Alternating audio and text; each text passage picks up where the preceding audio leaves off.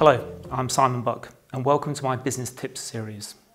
So today we're going to talk a little bit about destination and ironically it's one of the main reasons I think that people end up using a business coach because what this starts to do is it starts to give you a feel for what does this business have the potential to look like when it's finished?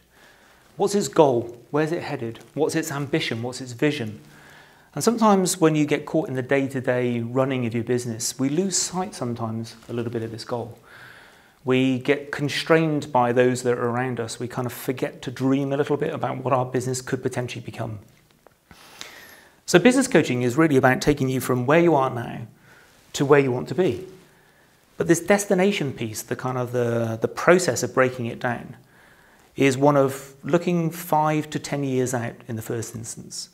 How far out can we look? What's our opportunity look like in the future? Where do we want to head this, uh, this business? And equally, does the business actually facilitate your own goals and ambitions for you personally as a business owner? So the process is one of where are we now and where do we want to be? And therefore, what does the gap look like between those two points?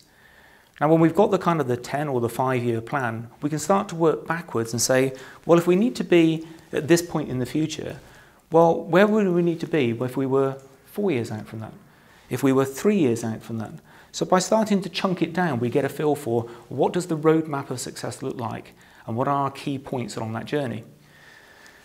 Equally, we can then break it down even further. So once we've got perhaps a year out with a pretty good feel for strategically where we're headed, then we can really get into the detail. If we broke it down further and we started to look at quarters, I'm a huge fan of 90-day plans.